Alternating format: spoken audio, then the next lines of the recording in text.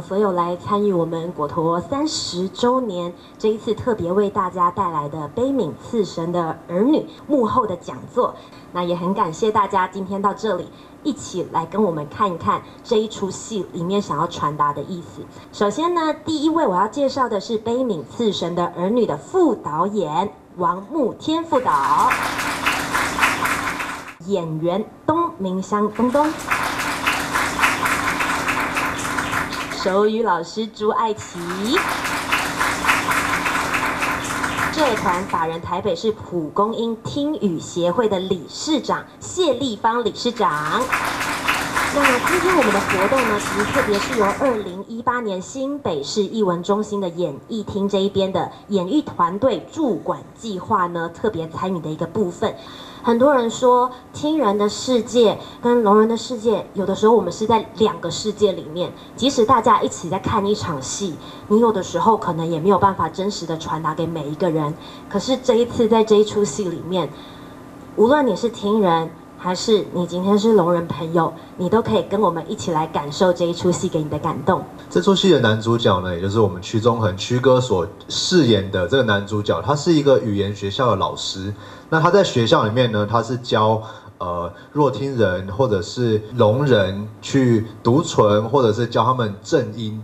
那有一天呢，这个校长他就带了女主角来到这个班上，学习能够跟听人沟通的方式。那在他们教学的过程中呢，他们就呃相恋相爱了。那后来呢？结婚了之后，他们就要面对生活中有很多不同的呃生活上的摩擦。除了这这一条故事线之外呢，还有我们东东所饰演的另外在故事里面的一个弱听人，他希望能够帮所有的聋人争取工作的权益。两条线故事线并行的情况底下，就会让我们所有观众看到哦，原来聋人的世界有很多部分是我们从来没有想象过的。我们都需要对。跟我们不一样的人有多一点的同理心，有多一点的爱心，多去理解，希望在这个社会能够有更多的温暖，能够更多的爱心。好，我是东明将。其实，在我大概半年前就知道导演要找那个听障演员，那时候说真的。我没有很大的自尊，因为我还没有看过剧本。当我看完了这个剧本，我才发现这个我在角色里面的叫做奥伦，奥伦他演的角色奥伦，他的见识跟我见到的我是差不多的。为什么呢？因为我自己都有一种看过太多那个不公平的现状，是，就是。见到的东明将士没有办法去反抗，可是呢，我可以通过剧本里面的二轮去反抗，所以反而剧里面的角色替你自己也发声了。是的，这就我这就我演出非常的爽，哦，非常的爽，因为因为我在里面呢，就是一种打抱不平，然后有一种会带带有一点那个脏话哦。觉得很开心的感觉。他在里面不只是引发革命，他里面还有大骂脏话，觉得很爽。就是他很投入在他的角色里面。有一天我遇到了一个很大的挫折，就是杨导演的要求我做不到，这个挫折我一定要跟他对抗，我不可能。做不到。那一天我们在 Facebook 上看到他写那个，很多朋友都很担心。他说：“真他妈的挫折，我永远会记得这一天。”啊，很多人就说：“啊，不会啊，你是很棒的啊，加油啊！”然后后来他就发了一篇啊，大家不要误会，我是不会被挫折打倒的。后来我得到了杨导演的认同，是对。到快要演出的时候，杨导就说：“哦，奥伦，你演的越来越好，你就是奥伦。”掌声好。真的，我觉得非常不容易啦。生活之中可能也有非常多的挫折跟挑战，可是东东这一次完全把它转化成为可以让他自己成长的力量。实际来看看戏里面的挑战是什么样子，好不好？东东也会出现在这个影片里哦。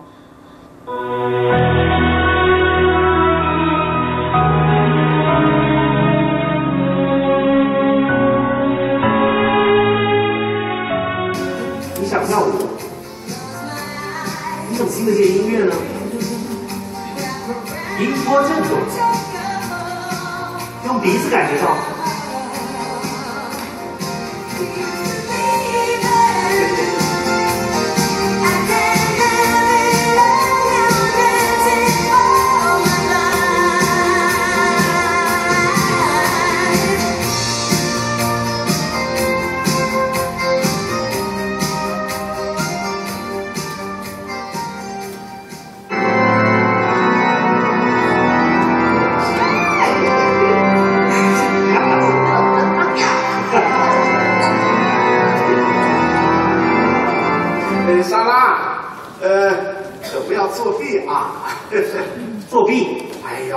曾经看过龙人打桥牌啊，那就跟强盗一样的作弊啊！那捏捏鼻子，这就代表一整六张牌啊！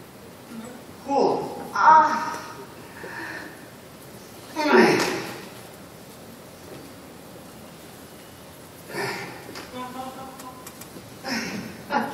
嗯，啊！你让他桥牌玩的这么精彩，我可唯一比这件事更了不起的事呢，就是教他说话啊。当你跟我说话的时候，一定要面对我才行啊！对不起，对不起，对不起，有些地方你还是得注意。花巧，花巧，花巧不是花小，花巧，花巧，对。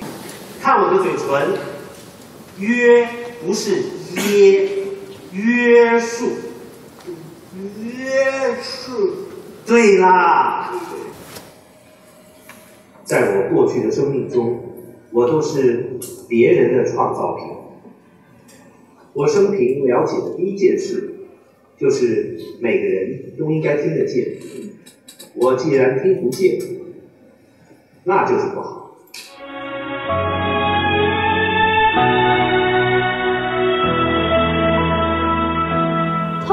刚的影片，其实可以看到，呃，曲哥的角色非常不容易。他一个人呢要演出台词，同时之间其实他要会的是两倍的台词。他另外一个他是要学习手语，同时之间让整个剧场所有的人都能够看懂在演些什么。所以我们会说这是一个我们是最友善的一出戏。今天大家来到这边。不是为了要知道故事，要知道故事，你们可以进场看。我们要知道一些秘辛、小秘密。最大的不一样当然就是呃手语的部分。那我们这次的，因为它这个戏的呃内容上的不同，所以我们是花了接近一个月的时间，全部在帮曲哥上手语，因为他要演一个语言老师，是。所以每天他就是先来之后，然后呃艾奇老师先从第一堂课开始教他一些很基本的手语，你好是不是有没有好坏喜欢不喜欢这些嗯。基本的，给他一个基本的概念之后呢，我们就开始进入那个剧本，这一句怎么比，下一句怎么比，哇，然后才把小叔找来，让他们两个对话，是。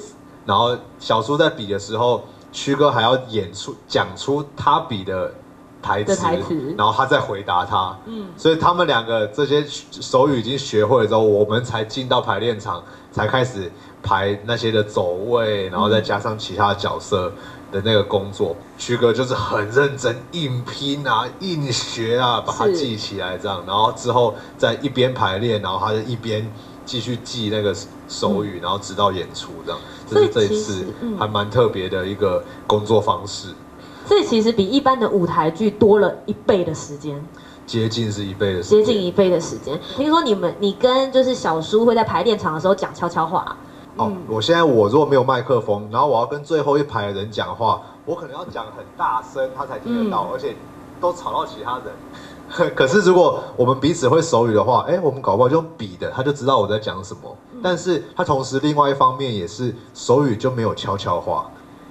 对我譬如说我都看得到你们聊。对，如果我们两个讲悄悄话这样，哎，大家都听不到。可是手语只要我们在比的再小，你看你一看到就知道我们在讲什么，所以其实那这是一个很特别的距离限制。对，反而没有距离限制，是一个很特别的事情。所以手语这个东西，我这次在接触到的时候发现，哎，它是一个截然不同的语言系统。是它跟我们学呃，不管我们学中文、英文、日文，文法的不同，可是他们基本上的特性是一样的，都是透过文字跟跟口说的声音。可是手语就是另外一个完全不一样的沟通系统，我觉得这个是一个非常特别的事情。听障者其实他们呃所有的不论是交流好了，或者他们的语言词汇，其实并没有比听听人少，反而有的时候他们表达是更多元而且更丰富的感情。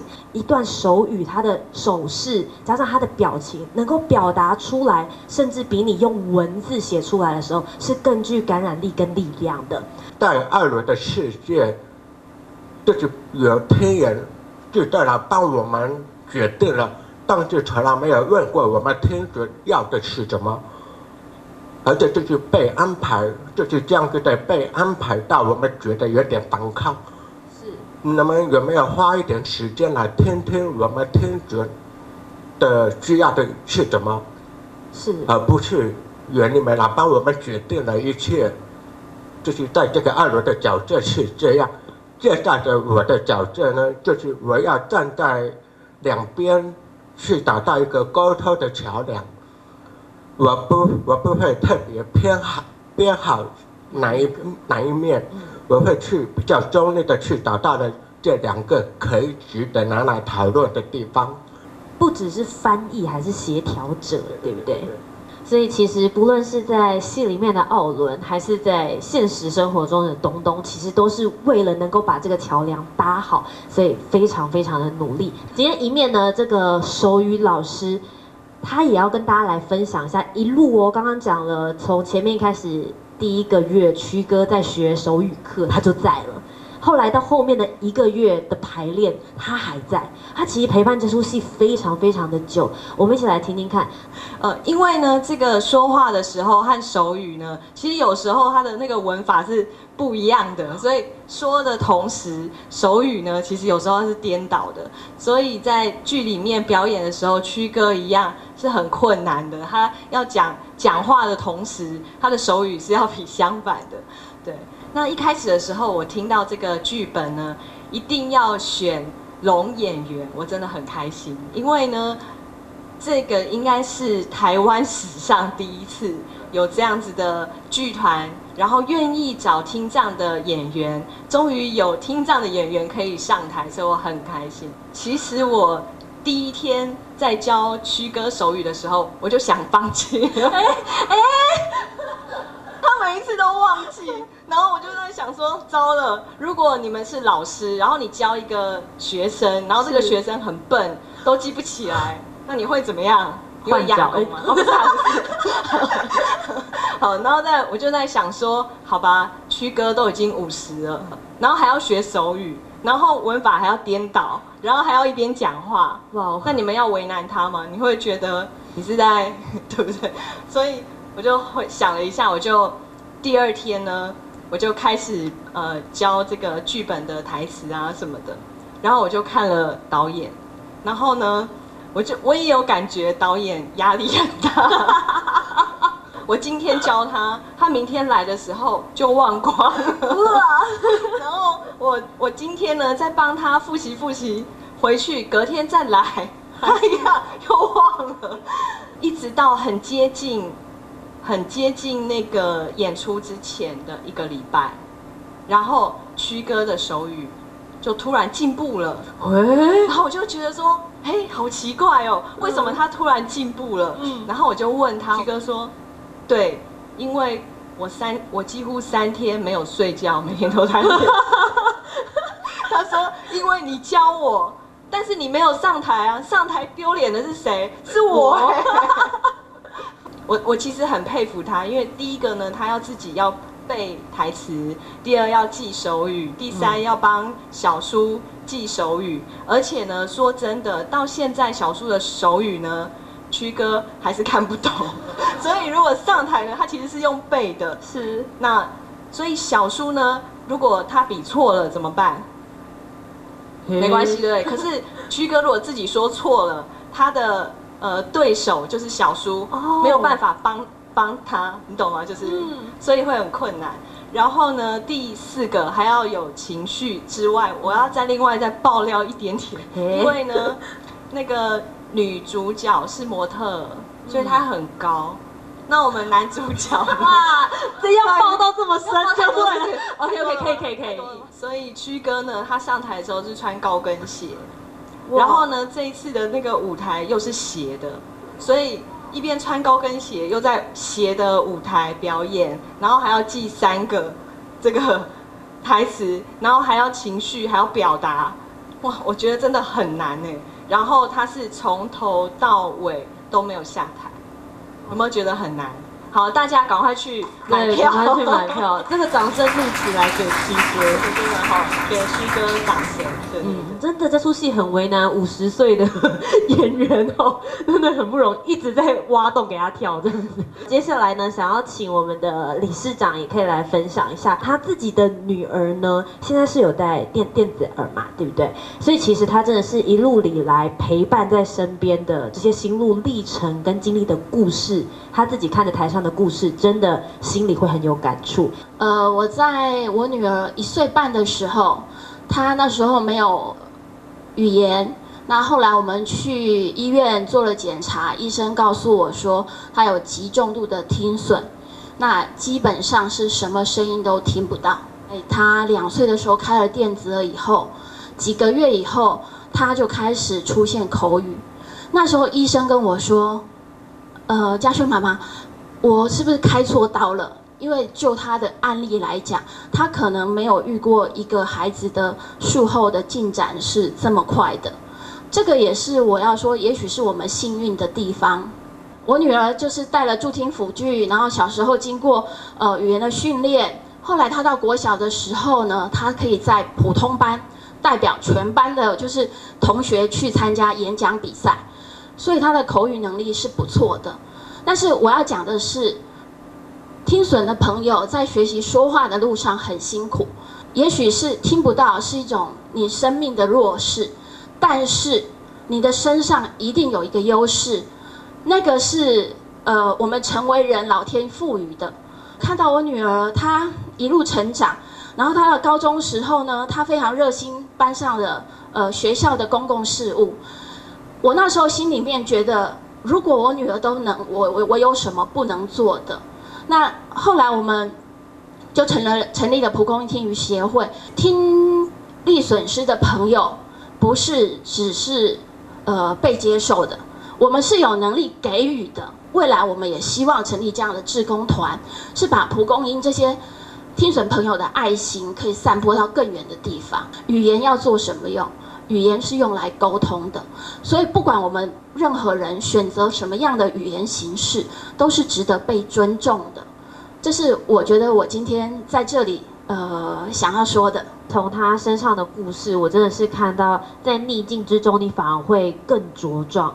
从这出戏里面也认识到很多我们听人平常不会想象到的状况，譬如说夫妻吵架，有时候对听人来说，我就算不想听，人家一直骂我，还是都听到了。对，譬如说，假设我现在跟你吵架，然后你吵一吵，你觉得很生气，你要走了，你一边走我一边讲，图姐你是圈圈叉叉三角形，芭拉柳丁香蕉三那个什么一二三四五六七八九，他很生气，他还是就就全部都听到，全部都伤害到他了。可是对于聋人而言，我只要不看，你就骂不到我。好实际啊！很实际，所以反而在如果以这个角度来讲的话，他们有时候反而他们握有那个我是否要跟你沟通的权利的权利。嗯，你这样子对我，嗯，我不听，嗯，我我不我不看你，你就没办法跟我讲，你另外那个人就要哎哎哎，你看我，你看我，你你你你怎么样怎么样怎么样怎么样？所以在戏里面有一个我觉得很很经典的就是他们夫妻在吵架，然后小就是女主角就啪把灯关掉，场上就一暗。老公就气得不得了，你这个我要跟你讨论这个事情，你就在那发这个脾气，然后就一啪，哎，拒绝沟通，两个那个吵架直接结束，哦，没得吵了，这样。他一直骂，他也看不见。对，然后对，他也看不见，然后他只能在黑暗之中，啊，他妈的顽固这样骂骂老婆，然后女主角睡着了这样。对对，所以像呃这出戏里面真的是让呃所有的观众都能够更加了解跟自己不一样的人。嗯，如果你通过这个剧本，被这个舞台剧，你就会更明白为什么他们的世界就是很很安静。那安静并不是真正的那么的安静，是因为通过舌语都不需要发出怎么样的声音，就会看起来特别的安静。其实空是装满着很多不同的感受。在这一次的节目手册里面，有一句很浪漫的话，他说：“呃，听损朋友们，你们在的是一个充满声音的极境。”我很喜欢这一句话，所以极境之中其实里面还包含着非常多的元素。这出戏最终还是回到我们所有人生而为人的一个最基本的事情，不只是听人如何面对聋人，实际上听人在面对另外一个听人的时候，你也要去。体谅对方跟你不一样的处境，我们每个人本来都会有不同的个性、不同的背景、嗯，不同的特质。我们能不能多一点去了解对方？是，也许呃，我们可以有自己的不同的选择，但是我觉得这一份了解，这一份试着要去沟通的意念是很重要的，而不是都从我自己的方式去想。这个世界，用我从只从自己的角度去看这个世界，那我觉得你这样看到的世界会是很狭隘的。可是你如果能够多了解不一样的人、不一样国籍的人，他们每个人有不同的文化、不同的思考方式，那其实世界是非常丰富、非常缤纷的。沟通是很重要、最基本的。那口语也是一种语言，手语也是一种语言。大家能够用同理心的去看待的话，那么你所看到的一切都会变成合理化的，就会变成理所当然，这就成为我们生活的一份子。听准、听到这个事情，往往都是很容易被人家贴上标签。那如果说能够用另外一个角度来看，我们其实没有怎么不一样，其实除了在听觉听不到之外，我们都有都是正常的。如果能够用同理心，千万不要用同情心去看待，那我们的社会就是这个这一一样的。在这一出戏里面呢，我对于听障的认识呢，其实有加深不同的族群的一个融合，然后我们大家其实是一起的。那还有就是，呃，小叔每一次在访谈里面，他都会分享说，其实如果要和听障沟通，一定要学手语吗？其实不一定，最重要就是用爱和尊重来做沟通。其实我们说沟通哦，就是呃你我双方嘛。那有一个是说话的人，另外一个就是听话的人。不可能说话的人一直说一直说。其实很重要的一个是倾听，就是你要去倾听对方说的话，而不是自己一味的表达自己的想法、自己的感受。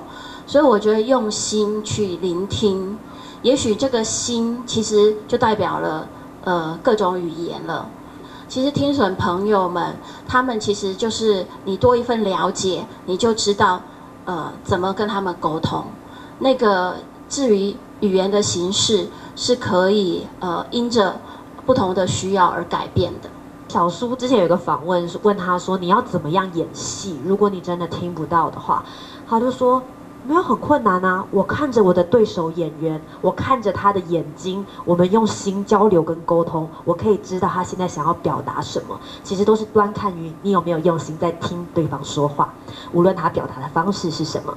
好，那我们今天的讲座呢，差不多在这边就要告一个段落，接下来就要进入我们的 Q&A 的时间了。这个舞台剧是有听人也有聋演员主角为主角的。那么一定会有很多的彩排和练习。那么当中呢，我想要问副导演，在这个彩排的过程当中呢，你学了几次手语？你觉得学他吗？你你学了几次手语？如果你要上台的话，你学了多少？哇真的是考试啊！他要你用手语，你用手语，你有你有学了吗？可以啦，你可以的。讲几句嘛。看了看了。那个一开始的手语课我有跟着学，但是从首演之后到现在，我已经一个多月没有比，我都忘记了。老师要不要给他打我我 pass？没有，我现在很超怕比错的。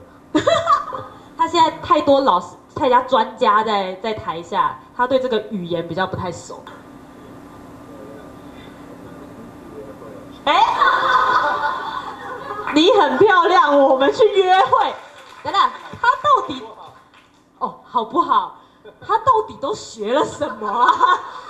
嗯，他他比的好吗？哇，看来撩妹语录都学的不错。OK，谢谢。